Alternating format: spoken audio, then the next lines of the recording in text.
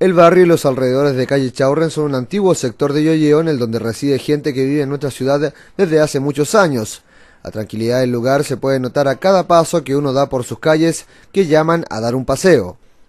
Eso hasta llegar a la altura del número 61 de esta calle. En este sitio el panorama cambia drásticamente. La diferencia más evidente que vamos a notar al transitar por esta vereda es que de plano, al llegar a este punto del camino, ya no podemos seguir por el sitio por el que íbamos. Esto producto de un verdadero cerro de basura que se ha montado en el que se pueden encontrar todo tipo de especies de plantas que van desde el límite de las rejas de la casa del sector hasta la misma calle. Este es el problema que tiene tan molesto a Eugenio Morales, vecino del sector que ya no aguanta más esta situación. Al lado de mi propiedad, en Echaurren, han botado un basural en este momento que es al promedio de 9 metros y como 3 metros de alto ramas y eso tememos nosotros los vecinos que se forme una guarida de ratones o de delincuentes.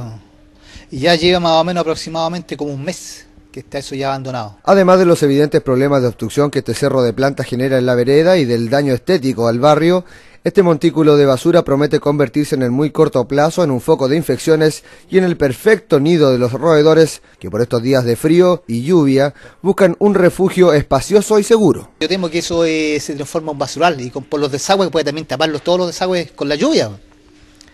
y solucionarlo lo antes posible. Y los dueños de la propiedad, ellos lo que tengo entendido, ellos están en Milipilla. Como es de sabiduría popular, la Dirección de Aseo, Ornato y Medio Ambiente de la Municipalidad es el encargado de limpiar todos los espacios públicos y de mantener hermoseados esos mismos lugares. Pero eso siempre y cuando esos lugares públicos acumulen desperdicios propios del sitio. Dada la circunstancia, la Dirección de Aseo, y Ornato y Medio Ambiente va a tomar el, el el cuento en sus manos y de hecho vamos a concurrir al sector y vamos a retirar